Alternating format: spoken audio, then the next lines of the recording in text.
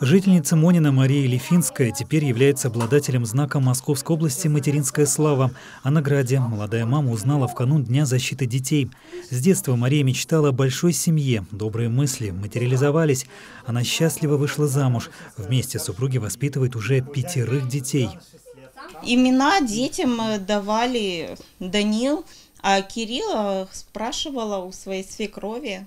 Николай – это как мой дедушка – Михаил как э, дедушка Валеры, а Василий, ну, мы думали, если будет девочка, будет Василиса, а если мальчик, то Василий. Мария родила первенца в 22 года. Еще через два появился Кирилл. После третьего сына супруги задумались о дефиците женского внимания. Мы как бы хотели, чтобы у нас была сестра у братьев, да, девочка, дочка.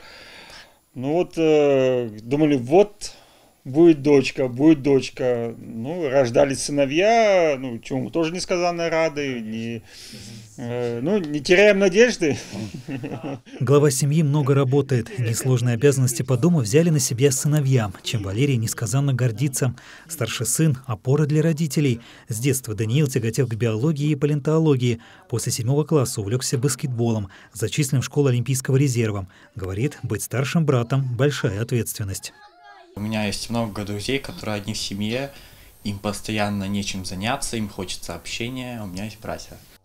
В большой семье соблюдают дисциплину. В будни первым просыпается папа. Ребята встают по очереди. В единственной квартире в Монино всего одна ванная комната. Период самоизоляции стал для семьи настоящим испытанием.